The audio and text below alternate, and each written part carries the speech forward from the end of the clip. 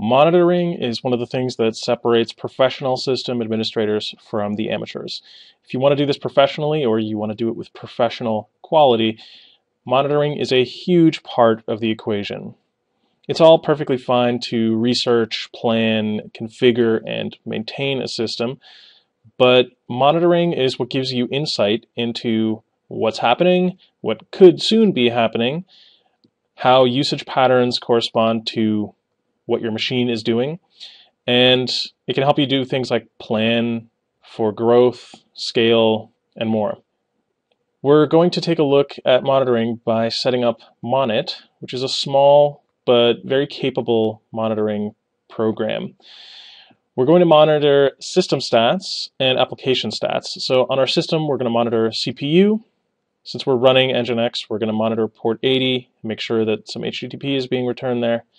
We're also going to monitor port 3306 on localhost, that's MySQL. Now that's a TCP port, and our applications are actually using Unix sockets, but it's okay because if MySQL is running, we're going to be listening on localhost on 3306. We're not exposing that port to the outside, which is good for security, but we can still use that to check from our local machine, that is the server, to make sure MySQL's up and responding the way we expect it to. This will also let us track MySQL's memory usage. We'll also track PHP FPM and Nginx processes and some details about them.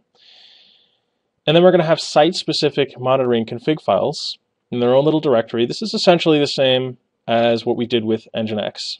So you'll have your main etc monit rc file, which has system-wide monitoring. And then you'll have, for each website, a separate website monitoring config in etc monit monit.d and then the site name .cfg. And that allows you to make creating the monitoring file part of creating a new website. It's really useful once you start automating this process. You know, oh, I just need to set up an Nginx config, a PHP FPM pool config, the actual website files, a user for that website, monitoring file. Just becomes one more thing that you drop into your automation scripts. So let's just jump right into the practical part and get this set up.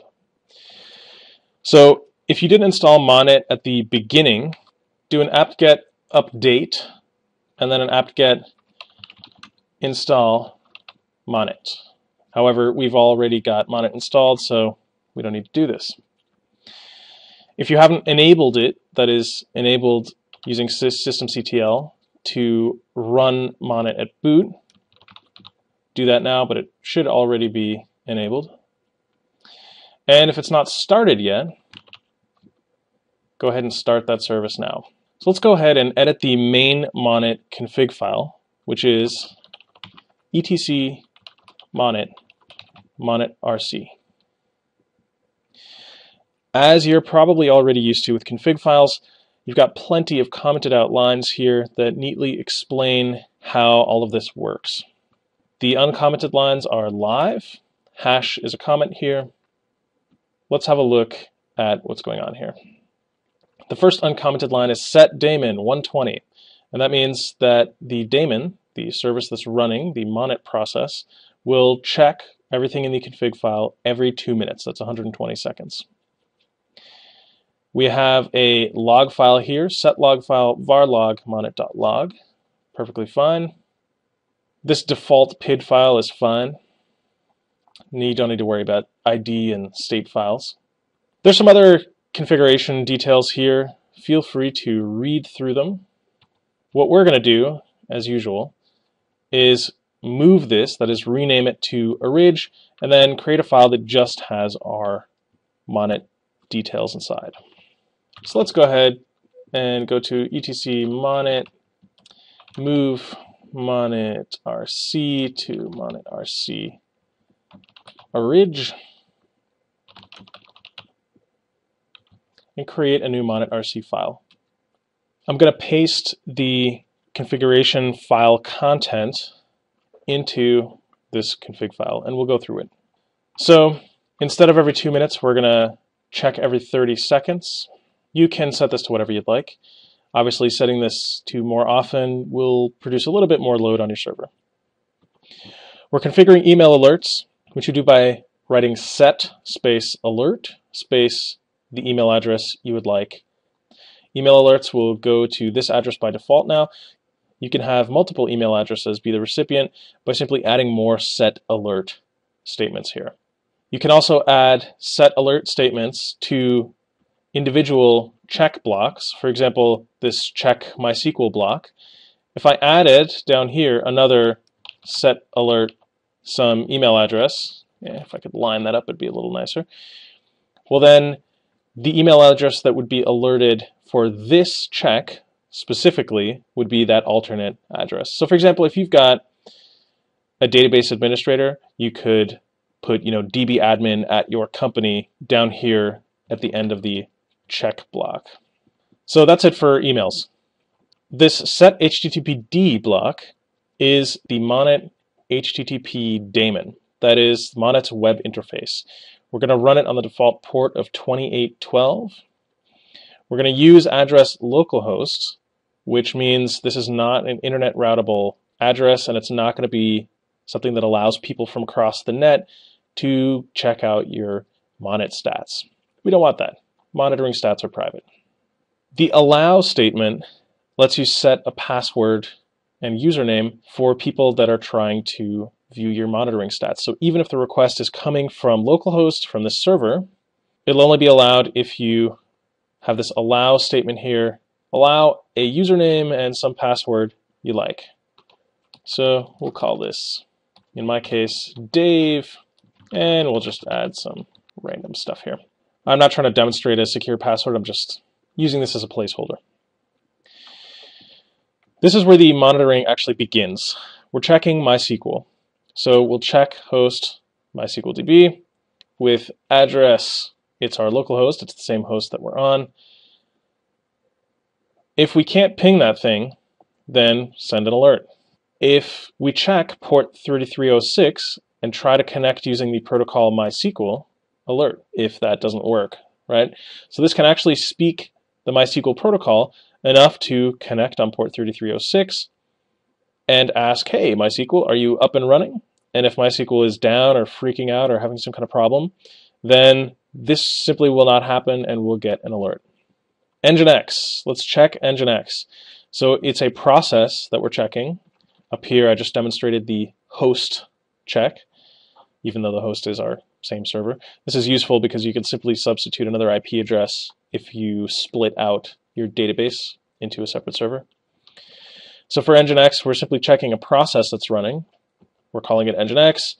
That process is running with a PID file. The process ID file is at var run nginx.pid, totally default. We're also defining start and stop commands because if there's a problem, you can actually have Monit automatically run things like start, stop, or restart. And when we check PHP FPM, it's another process check. We're checking the PID file over here. If PHP FPM is using more than 50% of our CPU for two cycles, that is, two monitoring cycles, in our case that's one minute because we've defined it as 30 seconds, then it'll alert. Likewise, if memory is above 400 megs, then alert. Let's make it 800. And finally, the include directive, we're simply saying include all config files that are in etc slash monit slash monitrc.d slash any file name dot cfg. So we can go ahead and save this now. And now we can create our first monitoring file for a specific site. So we'll go to etc monit, monitrc D directory. You can see there's a couple things actually already in here. What we're going to do is create one called tutorial Linux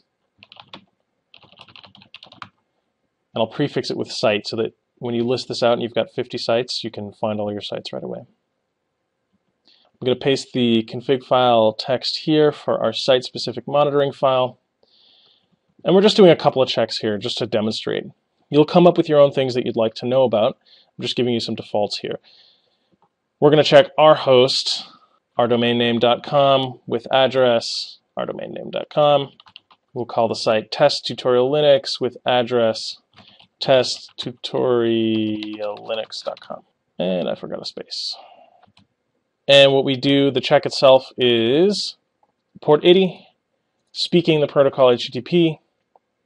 If it's not responding for two cycles, in our case, one minute, then we alert. We're also going to check our Nginx error log at varlog nginx underscore error dot log. If that file is getting huge, we're going to exec log rotate. This is the absolute path, the full path over to log rotate, which is a program that will simply rotate our logs. It compresses old logs and renames logs. So this would force a log rotation. This is just an example of what you can do. So go ahead and save this.